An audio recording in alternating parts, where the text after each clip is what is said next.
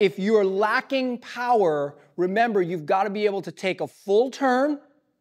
You're in the top of your backswing. This is my brain thinking golf, right? I put my feet together because we got to engage and use the ground. I bend my knees just a little bit. I grab the rope and the handles. I take a giant step to the other side. I now create that process of hips first.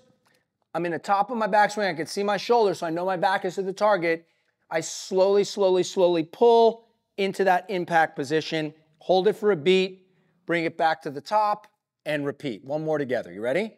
Back is to the target.